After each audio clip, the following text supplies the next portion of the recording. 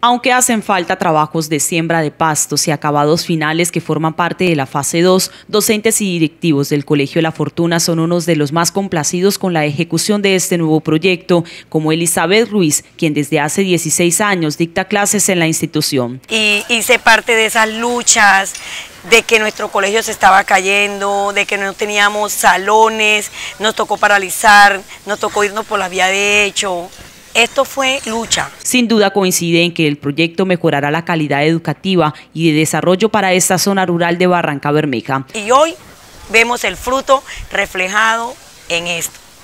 Desafortunadamente en nuestro país para uno tener esta hermosura que hoy tenemos nos toca pelear y pelear duro, pero la pelea valió la pena. Por su parte, el rector del plantel, Francisco Gómez, habla sobre lo que viene para la institución en los próximos meses. Viene el tema de la inauguración ahorita en el mes de diciembre y, o finalizado en noviembre, que todos la comunidad tiene que estar atento frente a eso. Y estamos en el momento de procesos de matrículas para el año 2019 para, para poner el servicio educativo esta gran obra para la ciudad.